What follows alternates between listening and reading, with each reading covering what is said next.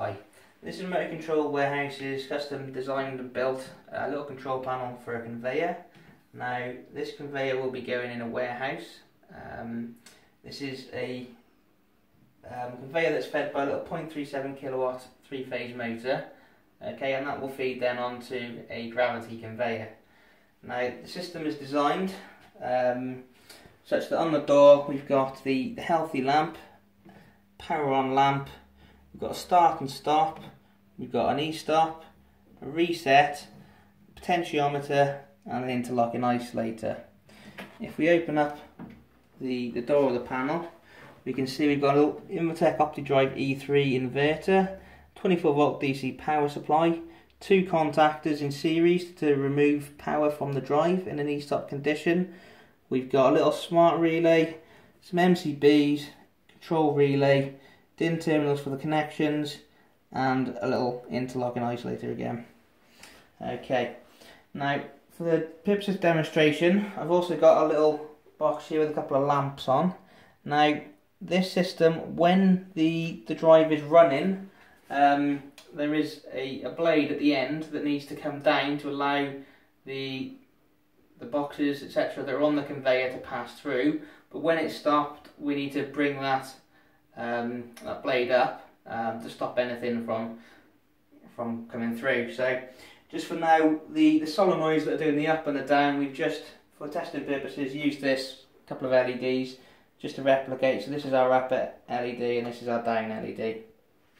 Okay, now the way the system is designed is that when we're running, um, we want to make sure that the gravity conveyor below isn't blocked. If it becomes blocked, we need to stop the system. In order to do that, we've used an IFM proximity sensor. So this will measure up anything um, within 300 mil of the, the lens will turn the, the sensor on and that will give us an input back into our smart relay to tell us that there's, there's something blocking the way. So as I move my hand in front of it, you can see the little LEDs come on and that then is sending 24 volts back up into the PLC. Okay, if I start the system, just with the start button, and as long as the conveyor is clear, after a couple of seconds you'll see the um, motors turning and also the down solenoid as well will have activated so that blade will have come down, the conveyor is running and it will carry on.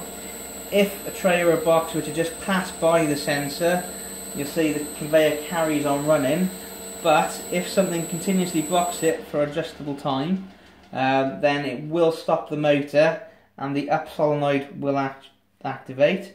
Now after a couple of seconds of it being clear again which that time is adjustable um, the conveyor will start again. So that just gives you time just to clear the blockage and that can be adjusted from the display on the smart relay. The speed of the inverter then is adjustable from the speed part on the front of the cabinet. And if I hit the e-stop you'll see everything stops power is moved from both solenoids. In order to reset it's just turn the key and press the reset button. You'll also notice because the power's gone off the healthy light has the, e-stop's been pressed sorry the healthy light is gone. If I press the reset button that'll reset the e-stop the healthy light will come back. Um, and then if I press start again after a couple of seconds of this being free we're up and running again. Okay and that concludes our, our video